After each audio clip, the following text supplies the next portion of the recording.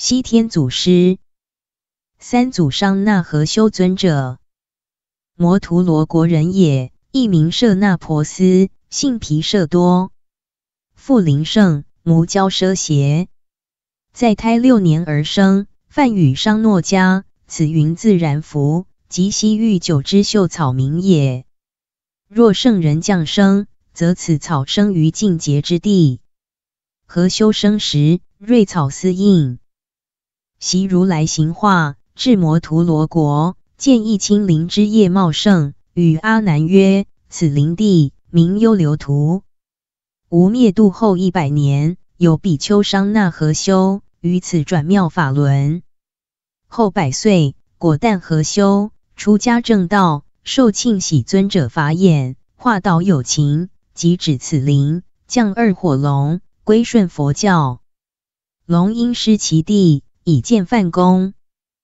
尊者化缘祭救，思复正法，寻于扎利国，得优波菊多，以为给事。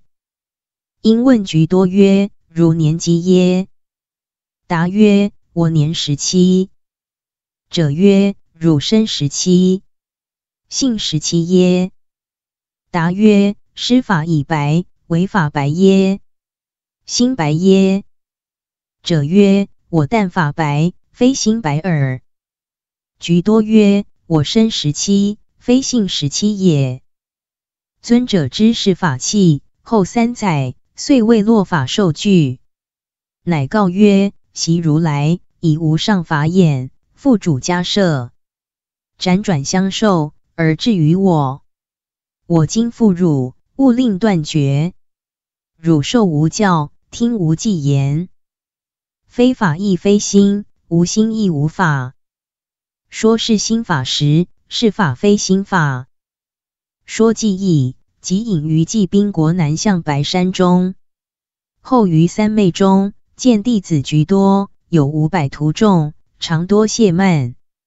尊者乃往毕，现龙奋训三昧，以调伏之，而说记曰：通达非彼此。至圣无长短，汝除轻慢意，即得阿罗汉。